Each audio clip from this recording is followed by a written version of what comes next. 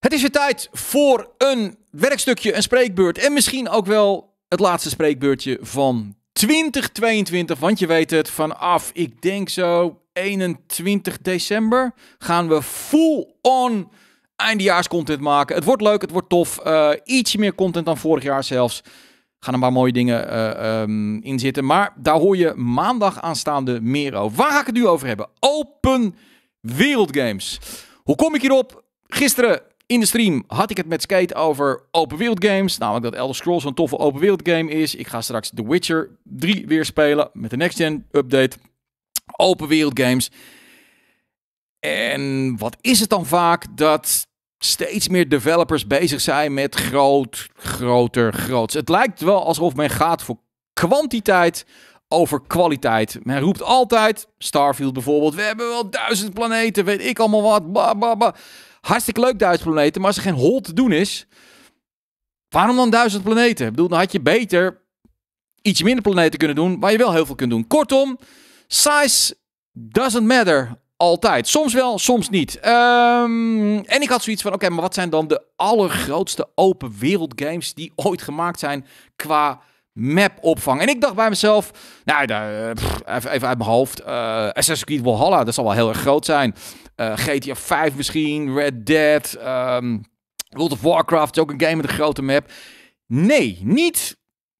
Al die games komen er niet in voor. Uh, Just uh, Just Cause 3. En ik ga een beetje over uh, vierkante ja, square miles praten. Want dat is een beetje waar ze het meestal over hebben. Die maps worden op die manier uit, aangegeven. Maar je moet eigenlijk een beetje dan nadenken dat een vierkante mile, een square mile, is, is 2,5 kilometer. Dus je moet het maal 2 uh, doen. Uh, Just Cause 3 is um, dus 400 square miles. Dat is dus ja, bijna, bijna, bijna 10 uh, bijna 1000 vierkante kilometer groot, die, die fucking map. Dat is groot, maar niet groot genoeg om in die top 10 te komen. Burnout Paradise, 200 square miles. Ghost Recon Wildlands, een magere 105 square miles.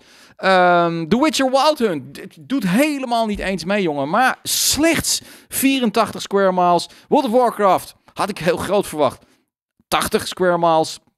GTA 5 is echt gewoon een klein kutspelletje met 49 square miles. En Assassin's Creed Valhalla is weliswaar de grootste uh, Assassin's Creed game. Maar komt maar tot en met 150 square miles, dus maal 2,5, zit je op pak een beetje zo'n 400 vierkante kilometer. Ik vind het nog pleuris lang.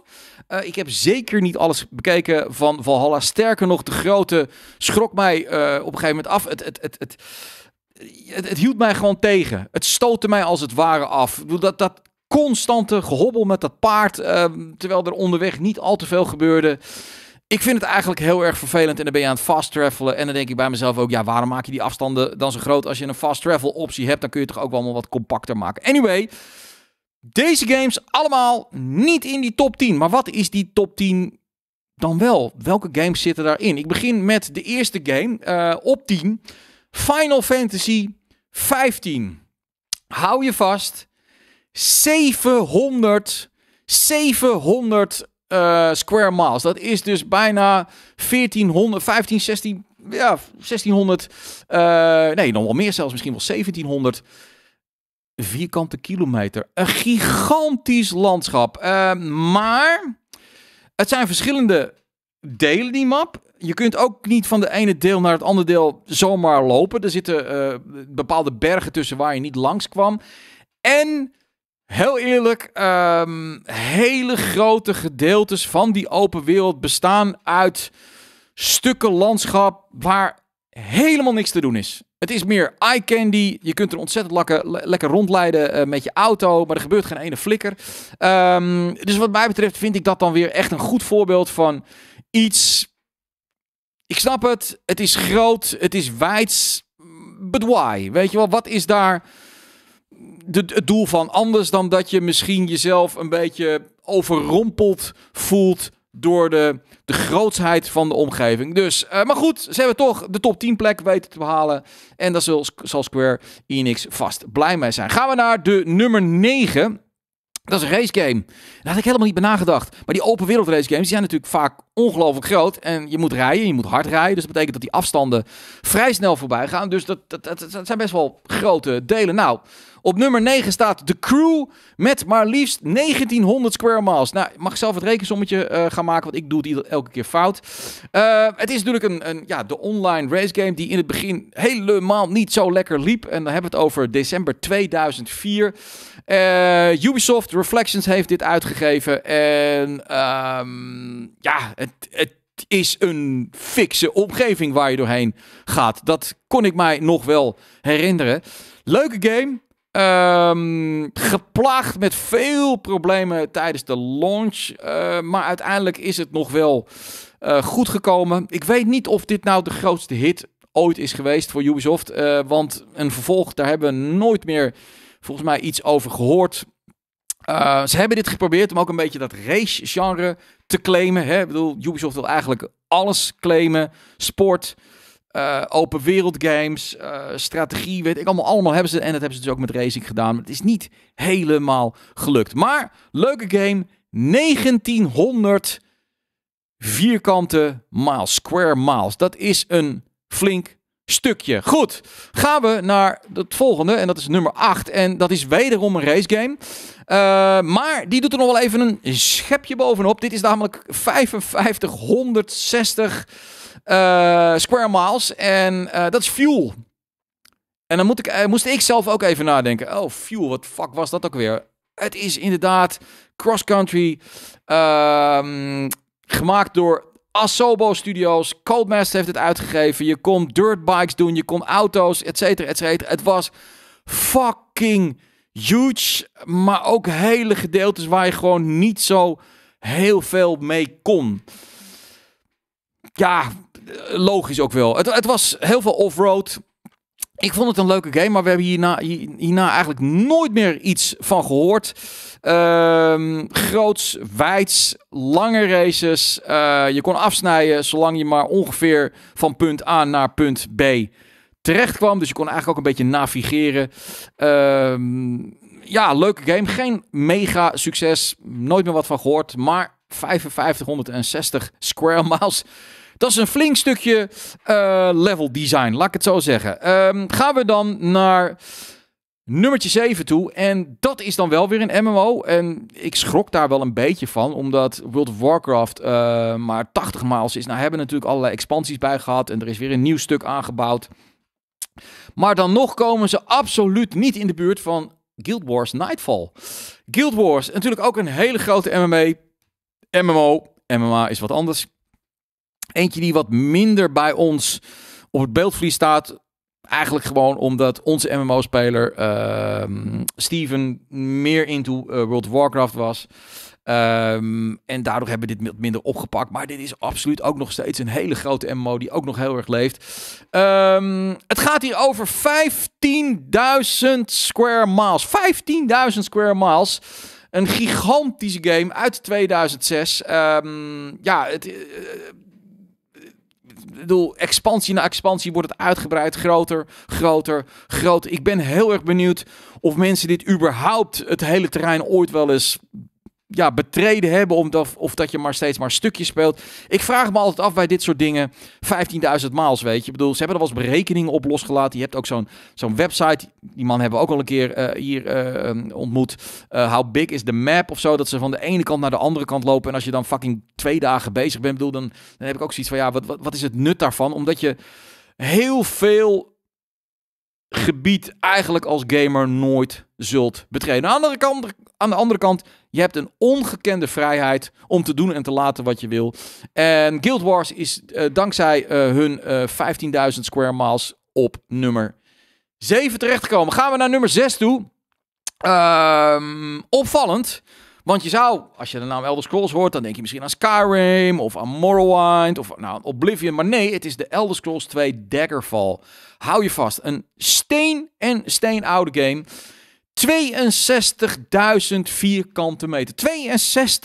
62.000 vierkante meter zit in deze game. En uh, zonder dat je ook echt een map hebt, kun je hier gewoon niet doorheen komen. Daarvoor is de map vele malen te groot. Het ziet er ook voor mij echt totaal niet meer uit. Maar goed, dit is wel echt een hele oude game. Ehm, nou, er is dus inderdaad een map feature waardoor je dus wel een beetje weet waar je naartoe kan. Honderden dots zitten op die map. Al die dots, dat, dat is iets. Daar kun je iets doen, daar kun je iets vinden. Ehm, gigantisch veel dorpjes, steden, dungeons. Alles kun je daar doen. Dit is ook een beetje eigenlijk waar Elder Scrolls steeds groter gaat worden. 62.000 vierkante uh, maals. Ik vind het uh, een getal die mij beangstigt. Laat ik, laat ik het zo zeggen. Hè? Want nou ben ik bijvoorbeeld geen completionist, maar ik weet dat Steven bijvoorbeeld een completionist is. Als hij dan een game wil spelen, dan wil hij echt alles ontdekken. Nou, ga er maar aan staan als je 62 vierkante uh, square miles wil gaan lopen, uitdiepen en exploren. Dan ben je gewoon ontzettend veel tijd bezig. En toch zijn er heel veel mensen geweest die zo'n beetje die hele map van A tot Z hebben uh, bekeken. Um, het zijn games, en dat zagen we ook al in die stream over Bethesda, waar mensen rustig 5, 6, 7, soms al duizend uur insteken. Puur om te exploreren wat er allemaal te doen is en wat je er allemaal kunt vinden. Maar goed, die staat dus op nummer 6. Wat staat er dan op nummer 5? Um, ehm, een vliegtuigenspel, oftewel Microsoft Flight Simulator. En we gaan nu wel echt gewoon in de overtreffende trap. Hè? We gaan nu echt ontzettend snel, hoppakee, omhoog. Um, en dan moet ik het even, even echt heel goed zeggen. Het is 196 miljoen 940.000 maals. 196 miljoen 940.000 square miles in game zitten er uiteindelijk in. En uh, in al die, ja, die flight simulators natuurlijk steeds uitgebouwd, uitgebouwd. 2 miljoen stadjes kun je overheen vliegen, kun je bezoeken. Uh, het is fucking insane. Het is niet alleen Microsoft die die doet, het is ook de community meewerkt. Dit is natuurlijk gewoon een mega game. Is dit een open wereld game? Ja, want je kunt van A naar B binnen die gigantische map. Um, het is natuurlijk wel zo dat er veel minder te doen is. Ik bedoel, je gaat van vliegveld naar vliegveld. Of je kunt gewoon ergens gewoon compleet keihard neerstorten. En wie weet kun je ook wel ergens midden in de middle of nowhere gaan landen. Ik vraag me af of je dan weer kunt opstijgen. De bedoeling is natuurlijk dat je erboven blijft zweven. Maar het is een open wereld game. Met dus gigantisch veel space om te ontdekken. 196.940.000 maals. Het is fucking insane. Um, gaan we naar de nummer 4. En die had ik eigenlijk helemaal niet verwacht. Maar dat is Minecraft van Mojang. Um, die hebben niet zozeer aangegeven in miles hoeveel dat is. Maar doordat mensen steeds meer eraan bouwen, eraan bouwen, eraan bouwen, eraan bouwen, eraan bouwen, eraan bouwen en eraan bouwen. Um, is het gewoon, noemen ze dit dus een ridiculous amount of space. Ja, ik speel geen Minecraft, dus ik weet niet in hoeverre dat heel erg belangrijk is. Uh, maar een gigantische game. En heel vaak zie je bij dit soort games, uh, of het is uh, procedurally generated, of de community werkt mee. En in dit geval is het dus de community. En het wordt groter en het wordt groter en het wordt groter en het wordt groter. Minecraft dus op 4. Gaan we naar de nummer 3. Um, ehm, ja, die game, die uh, kan ik mij nog wel herinneren. Uh, dat was van Will Wright. En ik was er nog bij op de E3 dat hij ging vertellen dat hij een game ging maken waar amoebes met elkaar konden neuken. Zodat ze dan weer nieuwe beestjes zouden komen. Ik heb het over Spoor. Ik stond echt glazen te kijken, waar heb je het over? Maar Spoor heeft dus 45.000 sterren met 120.000 planeten die daar weer omheen draaien. En ja, als een speler dus bijvoorbeeld 10 planeten per dag zou gaan bezoeken, 10 planeten per dag, dan zijn ze dus 53 jaar bezig om dit hele spel uit te spelen. Ik weet niet of iemand dat doet. Ik weet ook niet of er iemand in de community is die bij deze, deze uitdaging wil aannemen. Als dat zo is, mail dan even naar redactie.gamekings.tv. Uh, eh, want dan gaan we dat de komende 53 jaar in elkaar uh, uh, gaan we dat uh, bijhouden. Ik weet niet of ik het hele einde dan zal meemaken. Maar het is insane. Het is insane groot. Uh, ja, weet je wel, ook, ook al die, die, die, ja, die beestjes, die werden natuurlijk ook allemaal procedurally generated. Um, ja, ik, ik, ik weet nooit zo goed wat ik daarvan moet vinden. Zoveel planeten, maar er zijn mensen die het heel erg tof vinden, omdat ze op zoek zijn naar iets unieks, om iets te vinden wat een andere gamer niet uh, vindt. En dit is natuurlijk dan wel heel erg goed mogelijk als er zoveel planeten zijn. Gaan we naar de nummer 2. En de nummer 2 is opnieuw een space sim Logisch, space, ruimte, groot, oneindig. Um, ze hebben hou je vast, Elite Dangerous dus. Elite Dangerous heeft een universum wat bestaat uit 400 miljard sterrensystemen. En een sterrensysteem betaalt, dat is ook nog eens een keer andere sterren. Dit is, dit is oneindig, dit is gewoon bijna niet te doen zo groot. Dit kan je in je leven onmogelijk allemaal gaan ontdekken. Ook al krijg je van je baas per nu vrij om dit de rest van je leven te gaan doen. Het gaat gewoon niet gebeuren. Het is een gigantische game. Ehm, en de lol hiervan is toch ook weer iets ontdekken wat dan van jou is, wat uniek is. Wat jij dan weer kan gebruiken. Dan kan je dan weer in de community weer pochen over dat het jouw planeet is die jij ontdekt hebt. Uh, het duizelt mij, maar hey, het is een open wereld game. Uh, het is een open wereld game binnen een open wereld game, want er zijn meerdere werelden die open zijn. Dus dit is nog veel groter dan al die maps die we gaan bekijken. En op één, en ik denk dat jullie hem wel een beetje zien aankomen, want als we het over uh, Elite Dangerous hebben, dan, dan is er, er is nog zo'n space game uh, die gebruik maakt van uh, procedurally generated content. En dat is No Man's Sky. No Man's Sky staat dus op 1 2016 uitgekomen. Je weet het allemaal, een hele vervelende launch. Uh, niet goed uitgelegd wat het is, maar uiteindelijk is het helemaal goed gekomen. Het is een populaire game nu. En uh, het grappige is dat zelfs de maker van de game niet weet hoe groot deze game is, hoeveel planeten erin zitten, uh, hoe je, het, is niet te meten, want het gaat oneindig door. Oneindig veel planeten zitten hierin. Uh, in. Nou, dit is voor mij aan de ene kant het voorbeeld van holy shit dat dat kan. En aan de andere kant is het mij ook weer een voorbeeld van wat heb je er in de hemelsnaam aan? Want het is nou niet zo uh, dat er heel veel eilanden uh, of heel veel planeten in zitten die echt anders zijn dan anders. Het is allemaal net even uh, een boompje met een andere kleur of een ander watertje of een ander dit, een ander beestje, et cetera, et cetera. En ik heb altijd het idee van, ja, welke, welke planeet is dan speciaal? Ik bedoel, en stel dat iemand een hele speciale planeet vindt, hoe gaat hij mij uitleggen dat ik daarheen moet komen? Uh, heel veel vragen heb ik altijd bij dit soort grote getallen. Maar goed, er kan er maar één de grootste zijn en dat is dus No Man's Sky. Oneindig veel planeten. We gaan ze nooit allemaal ontdekken. Er is niemand die hier een strategy guide over gaat schrijven. Waarbij die alle planeten even aan je voorstelt. Met plaatje erbij, screenshotje. En wat je er allemaal kunt doen. Het gaat gewoon niet gebeuren. Het is fucking huge. Zolang de makers deze game bijhouden. Want als ze ermee stoppen, dan is het ook. En weg is alles. Dan is het. Al die planeten zijn pleiten. Uh, eigenlijk ook wel heel bizar om je dat dan uh, voor te stellen. Dat je ooit gewoon de grootste game ooit hebt gemaakt. Die je dan ook zomaar weer kunt laten verdwijnen. Goed, No Man's Sky dus. De allergrootste game alle tijden.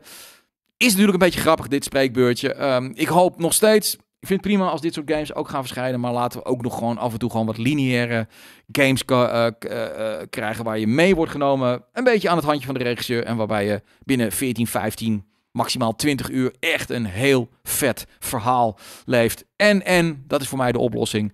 Als iedereen zulke grote games gaat maken, ja, dan weet ik niet meer eh, hoe ik al die games dan in 2023 en verder moet gaan spelen.